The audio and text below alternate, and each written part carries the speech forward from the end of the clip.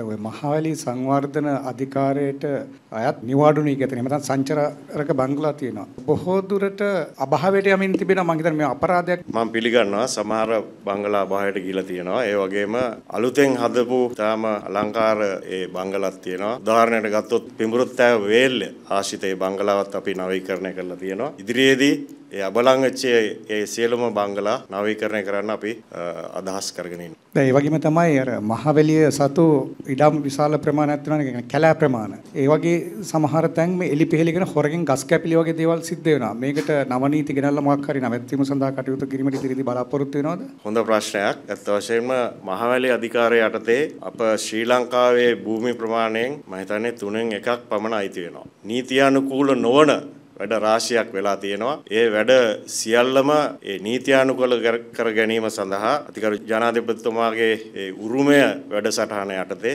අපි දැනගෙන කොටත් සින්නක්කර ඔප්පු 25000ක් දීලා තියෙනවා. අපි ඒක කිරීමෙන් බලාපොරොත්තු වෙන්නේ මේ අනවසරෙන් කරන වැඩ නීත්‍යානුකූලව මහවැලි අධිකාරිය යටතට අරන් එන්න.